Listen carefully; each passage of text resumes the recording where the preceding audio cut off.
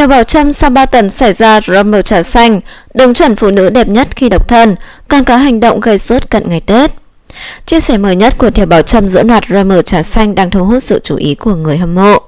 Sáng ngày 7 tháng 2, Theo Bảo Trâm đã đăng tải loạt ảnh mới trên trang cá nhân sau thời gian hạn chế xuất hiện giữa RM trà xanh. Tranh thủ những ngày giáp Tết, Theo Bảo Trâm cùng Linh Truy, FC Theo Bảo Trâm đến thăm các em nhỏ đang được nuôi dưỡng tại một trung tâm xã hội.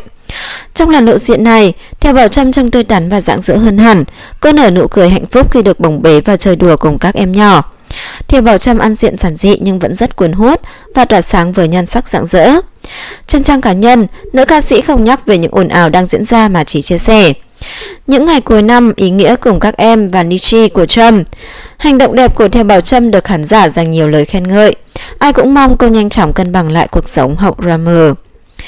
Thiều Bảo Trâm nở nụ cười tươi và ánh mắt ấm áp khi đến thăm các em nhỏ vào những ngày giáp Tết.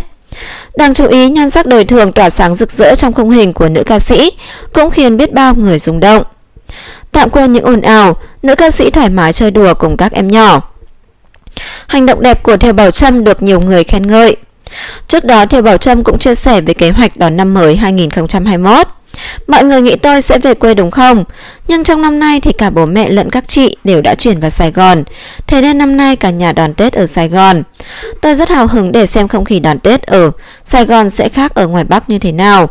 Tôi sẽ đi chợ Tết, cùng mẹ dọn dẹp nhà cửa và nấu những món ăn ngày Tết. Theo Bảo Trâm tiết lộ, đây là năm đầu tiên cô và gia đình đón Tết ở thành phố Hồ Chí Minh. Cảm ơn cả nhà đã lắng nghe video của Pi. Cả nhà đừng quên ấn like và đăng ký kênh để nhận được những thông tin mới. Xin chào và hẹn gặp lại.